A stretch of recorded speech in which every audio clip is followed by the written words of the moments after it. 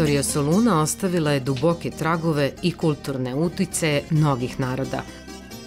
A grad je sve to verno prikupljao i čuvao godinama, ne bili dobio duh i brojne znamenitosti kojima danas pleni. Posebno je prisutno staro-rimsko i vizantijsko nasleđe.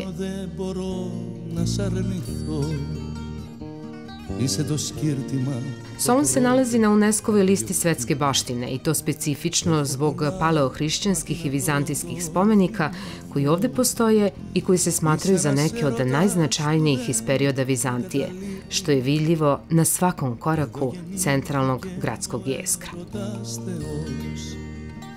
Jesam pedaki Galerijeva palata se nalazi u samom srcu Soluna, na Navarino trgu i najočuvaniji je celokupni kompleks do današnjih dana. Izgrađena je 300. godine i neprocenljivi je spomenik iz rimskog doba. Kao deo kompleksa ove palate su Galerijev Slavoluk, rotonda i manji vidljiv deo ostatka hipodruma, dok se veći nalazi ispod kuća na pomenutom trgu.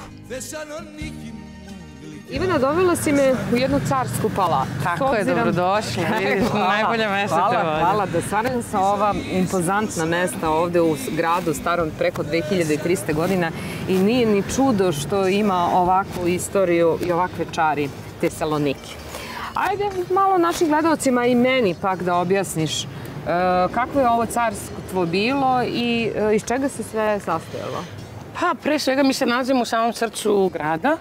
E, nalazimo se na potezu, eto malo geografski da odredimo, između Bele kule koja je tamo s leve strane i Aristotelovog trga koji je na desnom, znači to je u samom centru, prosto je nemoguće da se promaši kogod dođe. E, I ovo je, e, ne možda po važnosti, najbitniji e, spomenik iz celokupne istorije Soluna, ali je trenutno najbitniji, to jest najočuvaniji celokupan kompleks koji imamo do dana današnjeg i možemo u njemu da uživamo i da saznajemo o nekadašnje istoriji grada. E, samo ovo mesto, kao što smo rekli, je sama palata galerija. Galerija je bio e, rimski car koji je iz tetrarhije, koji je u tom periodu, krajem trećeg, početkom četvrtog veka, vladao e, iz e, Soluna.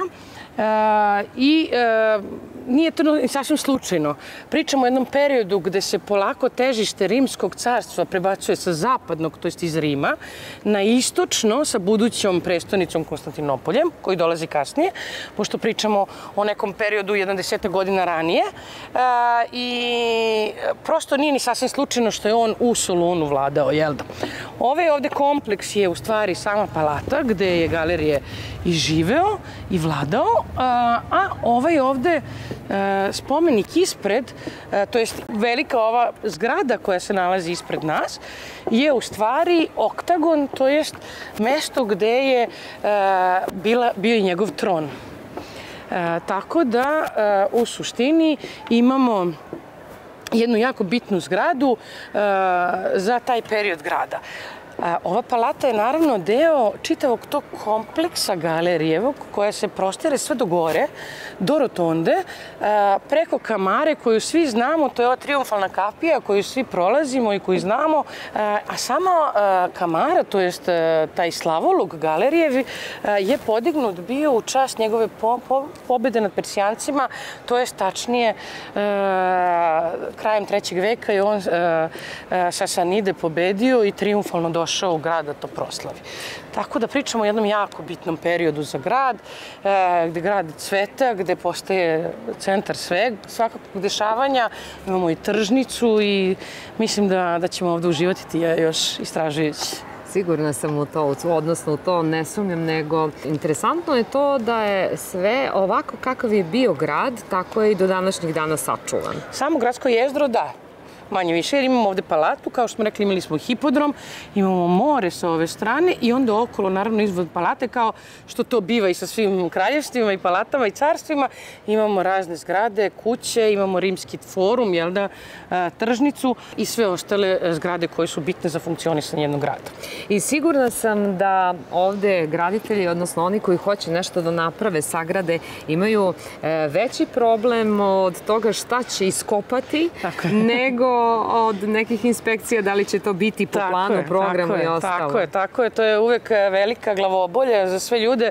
Prvo krećući od pojedinaca, jel da, individualaca koji hoće da izgrade svoju kuću, e, koji moraju prvo da prođu taj, tu kontrolu arheološke službe, pa do naravno nekih viših instanci gde tu mora da se dobije arheološka dozvola koja podrazumeva da ukoliko se nađe E, nešto u zemlji kad se iskopa taj uzorak, onda mora da se pristupi ozbiljnom iskopavanju, pa da se odredi koja je važnost tog e, pronalaska, pa tek onda da eventualno dobiju dozvolu za gradnju. I mogu, možemo slobodno reći da iz tog razloga Solun do danas nema metro. Ma da, to je jedan od razloga, mimo svih ostalih razloga, jel da, koje, od kojih i bolesti od koje pati balkanska zajednica naša generalna, ali da, jedan od bitnijih i egzaktnijih razloga je baš e, sama činjenica da, da, da, se, da ima gomila arheološkog materijala koja se našla pogotovo na stanici Venizelu koja je najproblematičnija, e, koji nas prečavaju u stvari da imamo i taj metro, jel da sve to mora da se e, konzervira, da se prebaci u neki muzej ili da se sačuva na mesto na kom je bilo.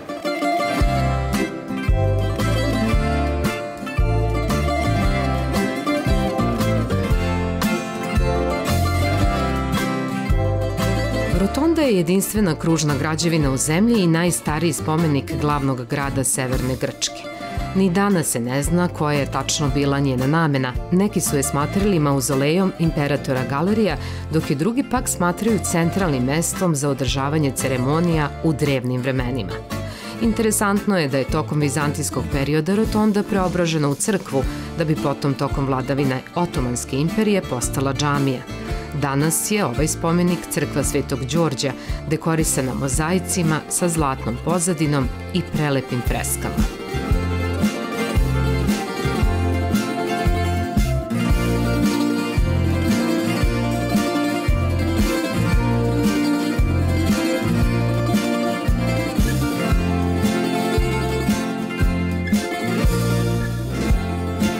Današnji Grci definitivno nisu oni isti koji su gledali prva izvođenja tragedija Sofokla i Euripida.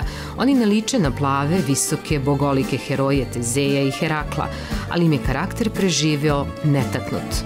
Bogovi koji su Grci poštovali, od Zevsa do Apolona, formirali su živi temperament i praktični duh.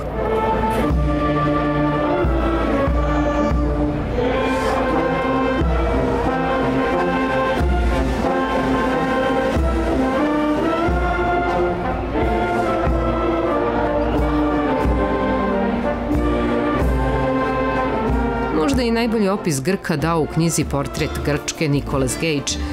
Da bi se preživelo, trebalo imati jako srce i pronicljiv um. Svaki je Grk isto toliko praktičan koliko i pesnik, umetnik, zanatlija, pošto drugčije ne bi mogao preživeti. Tokom istorije Grci su vodili ovaj dvostruki život. U svakom kutku Tesalonikija osetili smo filokseniju, gostoprimstvo kao najviši oblik poštovanja gosta, stranca. Od antičkih vremena Grci su gostoprimstvo stavljali iznad sobstvenog blagostanja, tako da bi poslednji komad hleba dali gostu.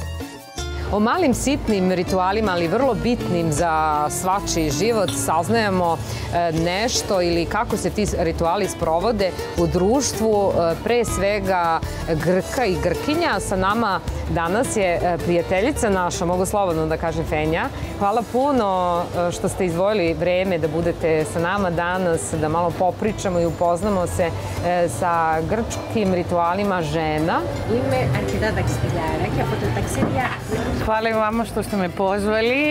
Mogu reći da sam veliki puštolov i da dosta putujem. I tako sam se i upoznala sa Ivanom pre mnogo godina, 12 tačnije. E, I ona isto kao ja jedan veliki puštolov. Čak smo se i u, od to, upoznali smo se na jednom e, forumu za putovanja na jednom od tih skupova i od tada održavamo naše prijateljstvo i često se viđamo, a čak smo se i u Beogradu našli i upoznali ga preko Ivane kao lokalci, a ne kao obični turisti, nešto što vam je sigurno i ona ovde e, pružila. Kada kažete da ste bili u Beogradu, nas najviše interesuje kakav je vaš utisak o Srbiji i Srbima? Mislim da svi Grci vole Srbe. Ja sam konkretno bila pet puta u Beogradu i nikad mi nije dosta e, da dolazim i da upoznajem i ljude i kulturu. E, naravno, dosta smo slični i ličimo i moram da kažem i da nam je hrana dosta slična. Meni je najomiljenija pljeskavica, ali naravno omiljeniji su mi ljudi koje upoznajem tamo svakog puta kad dođem neko, po nekog novog. Вие станали са на име Спитинг. E, Da li to kažete zato što imate srpske krvi u sebi ili zato što objektivno doživljavate Srbiju i Srbe?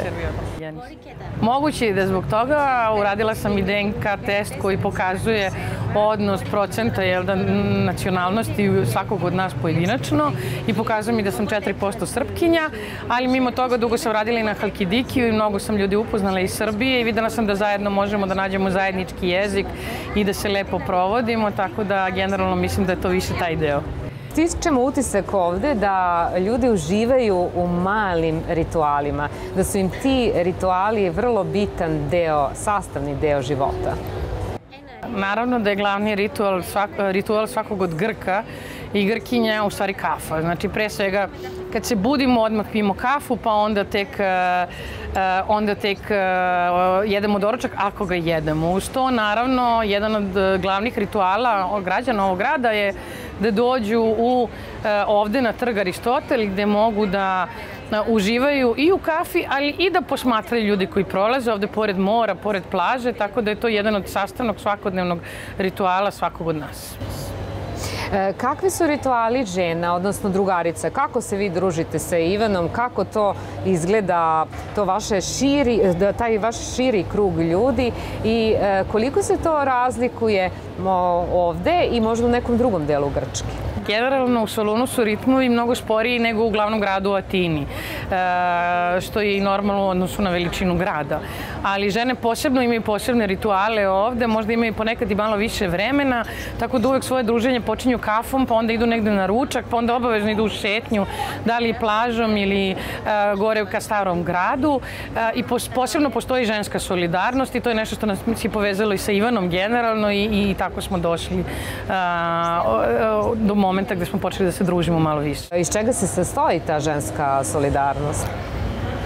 U suštini sama solidarnost nije lak pojam i nije laka misaona imenica, tako da kažemo. Ima svoju širinu i dubinu u svakom pogledu, ali u svakom slučaju počinje od one osnovne, bazične povezanosti žena koje imaju potrebu jedan drugu da podržavaju i da, da se nalaze u dobru i u zlu. Krenuši odatle možemo na pojedinačnom nivou u svakom slučaju da pričamo o različitim nivoima te solidarnosti, povezanosti i podržavanja. Kažite mi još za kraj, koje je vaše omiljeno mesto u Solunu? Αρχικά και εγώ να σας ευχαριστήσω που μου δώσατε την ευκαιρία να... Ja bih voljela pre svega da vam se zahvalim što ste mi pružili priliku i ja da se predstavim i da ukažem čast moje drugarici Ivani i da se pojavim u ovom vašem filmu a, i da vam kažem da mi je pre svega prvi omiljeni a, deo grada mi je baš ovaj ovde jer je a, raskrsnica svih nas i mesto gde se svi uvek sastajemo, a zatim kraj u kom sam odrasla, to je Tvrđava gore na samom delu koji se zove Kastra. Ako niste išli morate da odete, vidjet ćete koliko ima izuzetan pogled i da uživate u celom gradu od ozgo i da ga upoznate. Αν δεν έχετε πάει πρέπει να πάτε. Ε, είναι το πιο όμορφο σημείο για μένα στη Θεσσαλονίκη. Ευχαριστώ πάρα πολύ. Hvala. Hvala.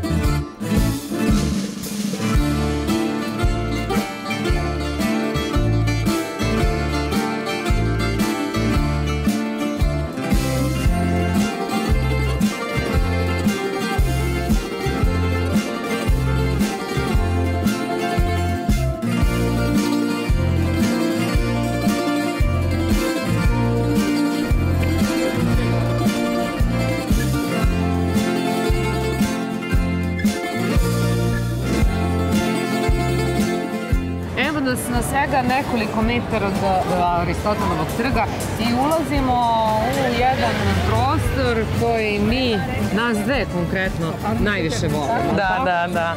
A, pre svega da kažemo da se nalazimo u jevrijskoj četvrti grada, rekli smo koliko su oni, to jest oni su bili jako bitna zajednica ovde, jer početkom 20. veka prvi jezik je otomanski, turski, a drugi je hebrejski, pa tek onda dolazi grčki.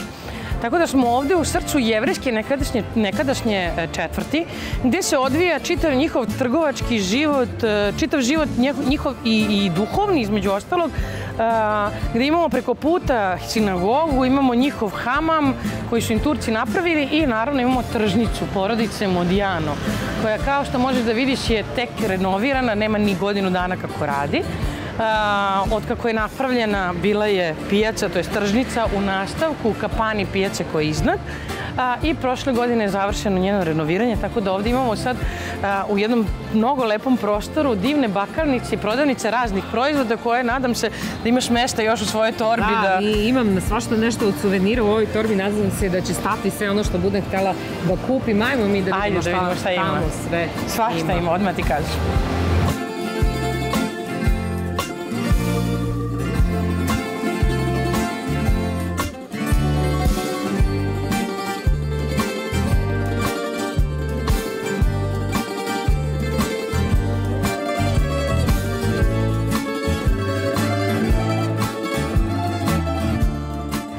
Prostoru jedne zaista moderne tržnice. I na prvi pogled nikada ne bih rekla da je ovde tržnica. Da, da, jeste, jeste. Inače, bilo je jako lošem stanju pre nego što su renovirali. Zaista, iako su zadržali mnogo elemenata, zadržali su svu, sve prozore, vrata, konstrukcije, jer je ovo grada pod zaštitom države, tako da nije mo moglo biti mnogo promena u tom smislu, ali je ipak sređena, doterana, moderna i, i lepa.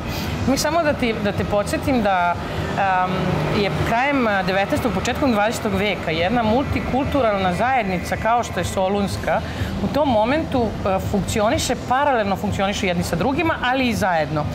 Ono što je interesantno kao priča za ovog Modijanija koji je napravio ovu tržnicu je da je to jedina ličnost Soluna koja kad je umrla, kad je umro taj glavni Modijano, da su sve zajednice solunske, znači hrišćanska i jevrejska i muslimanska, proglasile dan žalosti. Svi su bili u žalosti, jer zaista je zadužio dosta grad.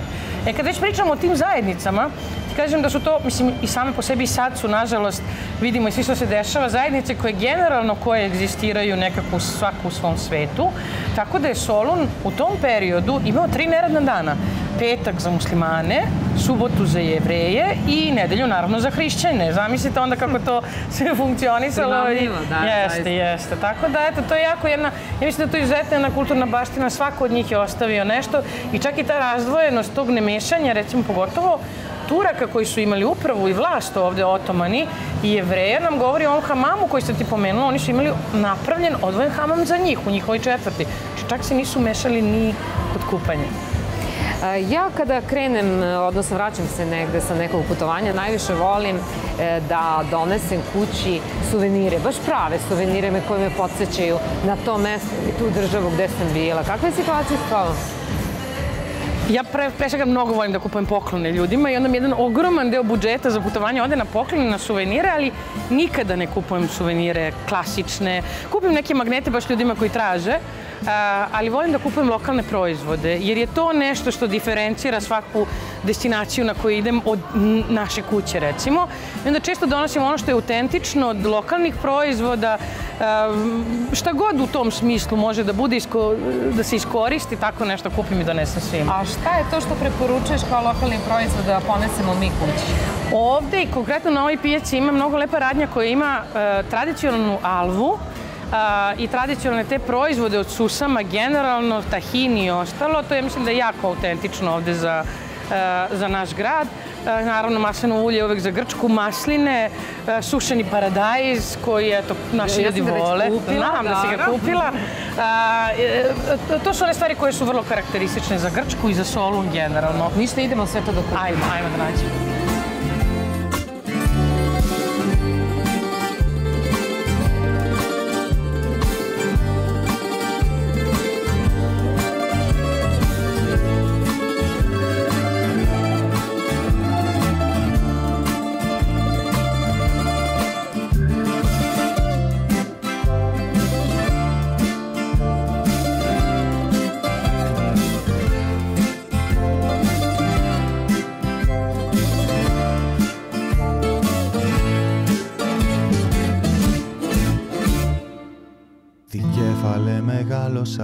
Άλλαξαν πολλά Όμως εγώ ακόμα εδώ πιστά. Όπου πας ακολουθώ Να σε λέω πως αγαπώ Και για σένα ναι να σκοτωθώ. Θυμάμαι φίλε μου που λες από παιδί μικρό Στο δρόμο μόνος μου να τραγουδώ. Να με κοιτάνε σαν χαζό, να με περνάνε για τρελό και εγώ για όλα να διαφορώ Iako hoćemo da napravimo jednu paralelu između grčkog i srpskog naroda, svakako bi trebalo da e, na stadionu Paoka snimimo atmosferu tokom jedne utakmice. Mi smo to upravo uradili, a sigurna sam da znate svi vi koja je razlika, odnosno koje bratstvo e, postoji između futbolskih klubova Paok i Partizan.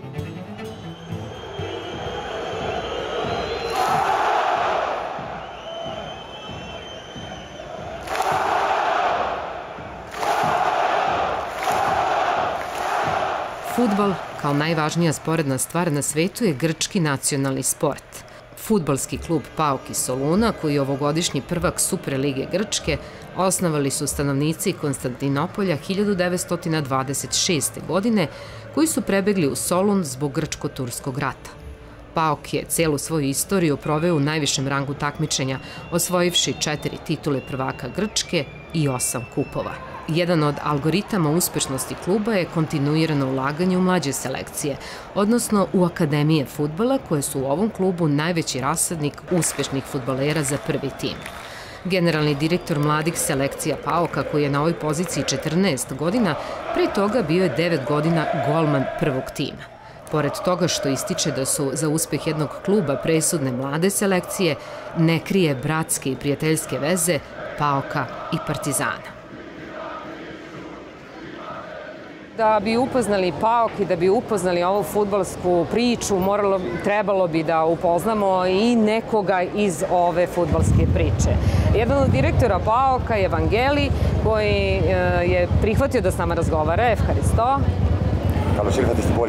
Dobrodošli u naš grad. I dobrodošli na Tumbu. Imao sam jedno i posebno iskustvo e, kad su Partizan i Paok pre nekoliko godina igrali prijateljsku utakmicu i tada sam pratio jel, da tim koji je u tom momentu Vladan Ivić trenirao, koji je bio inače i bivši igrač Partizana i Paoka i zaista sam se ostio kao kod svoje kuće. Kako je to bilo u vaše vreme kada ste vi bili golman? Da li je postojalo το πριετέλστο η Αυτή η φιλία υπήρχε τότε που παίζατε εσείς ο θερματοφύλακας ή αναπτύχθηκε τελευταία τόσο πολύ. Generalno je ta veza jedna fundamentalna veza i postojala je od ranije, počela je od samih navijača, to je razvila se veza među navijačima, onda je prešla na upravu, na igrače i na sve ostale. Mi smo narodi koji jako ličimo, imamo jako slične navike, slične škole futbalske između ostalog i svo to prijateljstvo koje imamo je dovelo do toga i da sam Vladanu Iviću tad predložio kad je završio sa igranjem u Paoku da ujedinimo Akademije mladih futbalera, to jest juniora, Paoka i Partizana. To nekako i nije se razvilo u nešto još uvek, ali u svakom slučaju baš je on bio taj od trenera koji je radio sa tom decom koju mi u stvari pokušavamo da izvedemo na taj pravi put i da stvorimo od njih izuzetne igrače i kasnije smo došli do generacije koja je osvojila i prvu titulu posle jako mnogo godina e, za vreme od kako je došao gospodin Savidis u, u tim, tako da mislim da smo na dobrom putu. Tako da smo u tom, e, u tom smislu, osim mladih igrača koje smo stvarali iz naših akademija, u stvari stvarali i trenere, jer je Vladan Ivić posle postao i trener, jel da, i, i, i, i tako smo došli do toga da stvaramo i neke druge,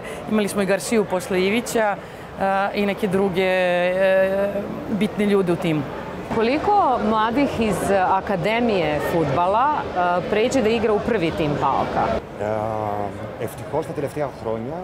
Ne samo da poslednjih godina mnogo mladih igrača iz akademija prelazi u prvi tim, što je zaista za nas velika radost, jer se vidi i novac koji je uložen na njih, jer gospodin Savidi zaista ulaže mnogo novca u te akademije, ali smo neki od tih igrača i prodali u inostranstvo i oni su nam doneli velike prihode koji se mere u milionima, tako da nadamo se da će se taj trend nastaviti u budući. Vi ste jeste jedan, da kažem, jedna vrlo bitna figura u Pauku, bez koje Pauk sigurno ne može, a to su omladinci i mladi budući futbaleri koji će činiti ovaj klub. Zahvaljujem vam se jako na vašim lepim rečima. Nama je prvo stalo da, e, da ta deca budu srećna i da, da stvaramo srećne ljude. Znate šta, podgišimo se šta? da ih vodimo ka pravom putu, da ih izvedemo na pravi put. Pretpostavljam da znate kako te akademije futbola funkcionišu u Srbiji. Kakva je situacija u Grčkoj? Na koji način se finansiraju te akademije futbola i koliko posvećujete e, vremena i sredstava toj deci? А, ne, игнорирала кривощи Znam jako dobro kako funkcioniše generalno ta čitava procedura sa stvaranjem mladih igrača u Srbiji i sa akademijama. Takođe znam da su uglavnom državni klubovi, da je jako malo klubova koji su u privatnom vlasništvu, ali se nadamo da će i to u nekom momentu promeniti u Srbiji kako bi došli do više sredstava i kako bi ulagali više novca u sve to. Pod nas, konkretno u Pauku, gospodin Savidic ulaže jako dosta novca i to je na nivou ne samo u akademije, nego i u a, tim B, znači u drugi tim a, Pauka, što je nešto novo, novi fenomen koji imaju i ulaže se oko 3 miliona evra godišnje u te akademije. Ali želeo bih da dodam da tad kad smo bili u gostima, kad smo igrali prijateljsku utakmicu, koliko god da smo mi privatni tim i da se mnogo sredstava ulaže generalno i u klub i u sve, mi još uvek nemamo atletski centar kao što ga ima Partizan. Da. I mi smo generalno kao atletski klub podeljeni na mnogo a, mesta i nadamo se u nekom momentu da ćemo i mi moći na jednom mestu da napravimo jedno sportsko društvo a, Pauka. Znači imate e, manje resursa nego mi, ali više ulažete u mlade kadrove. Upravo to. Veze srpskog igračkog kluba kroz dugogodišnju istoriju predstavljali su mnogi uspešni futbaleri, a danas je jedan od njih i srpski reprezentativac Andrija Živković, koji brani boje crno-belog kluba iz Soluna već tri godine. Andrija, ti si već o, tri godine ovde u Grčkoj, odnosno u Pauku. Kako su te Grci primili? Pa, prihvatili su me tako da se osjećam da, kao da sam kod kuće, tako da stvarno sličan karakter nama, sličan narod, tako da, kao što sam rekao, kao kod kuće se osjećam. A koje su sličnosti i koje razlike igranja futbala u Srbiji i u Grčkoj? Dobro, on, mislim, drugačiji je, drugačiji stil, ne znam, stvarno ne znam šta bih rekao na, na tu temu, ali igra se dobar futbal, brz futbal, ono što se mi sviđa, ofanzivan futbal, tako da to mi stvarno odgovara i drago mi što sam ovdje. E, ti si jedan od, da kažemo, e, najborbenijih igrača kako u reprezentaciji, tako si bio u Partizanu. Slična je situacija od... Pa da, mislim, uvek dajem 100%, uvek se borim na terenu, to mi je u krvi, tako da takav ću uvek ostati. Šta nisi mogao da prevaziđeš kada si došao ovde u Grčku i nedostajalo ti je? Pa naravno, prijatelji, porodica, ali blizu sam kuće, tako da i kao što sam rekao, osjećam se ovde kao, kao kod kuće, tako da sve što imam mi je potrebno u životu, hvala Bogu na tome, tako da srećan sam. I još za sam kraj mi kaže, kakve su tvoje emocije kada Paok igra sa Partizanom? Pa, to su dva bratska kluba, naravno drago, drago mi je kada, kada vidim i jako sam srećan zbog toga što, što smo dva bratska kluba i što trenutno igramo u Pauku. Zaista oni dele tu emociju sa nama? Da, da, to je 100%. Kao što sam rekao, prihvatili su me ovde super kao, kao kod kuće, tako da stvarno je fenomenalno.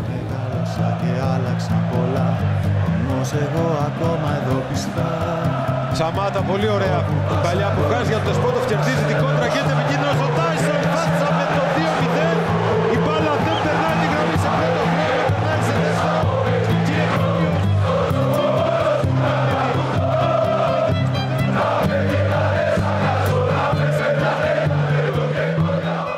futbalska priča koja je nastala na stadionu Tumba pre 97 godina ne bi mogla da traje i razvija se bez navijača, koji su u svakom klubu veteru leđa za bolje rezultate, a svakoj utakmici daju posebnu emociju.